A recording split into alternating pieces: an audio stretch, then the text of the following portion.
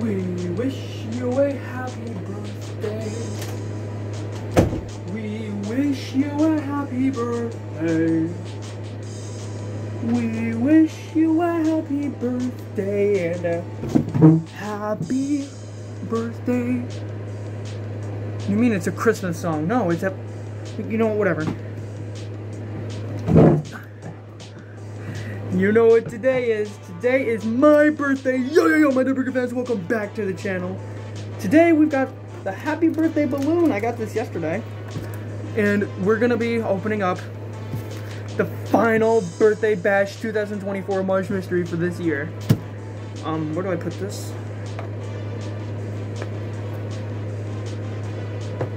You can see it right here, but like there's nowhere for me to put it.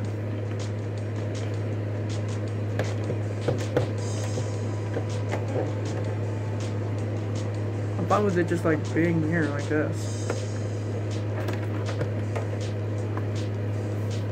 Try this. Um, there's nowhere for me to put the, the happy birthday balloon, so that's a problem. There we go, right there, there it is. But today we've got the final birthday bash March Mystery. Now these were the two from last year, and as you can see, they're both specials, so you know what that means. Let's review. This was day one.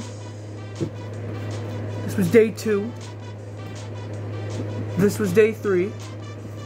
Time for day four. The final birthday bash merch mystery for this year. Oh man.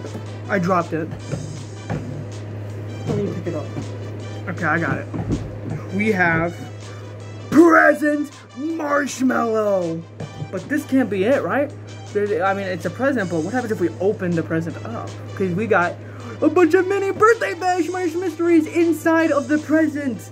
And this part comes off, so it's kind of easy for you to just slap it back on like that. So this is the final birthday bash marsh mystery with the opening present lid like this. Now I like this one. This is probably my one of my favorite specials. This one, these two go up there. I like these two.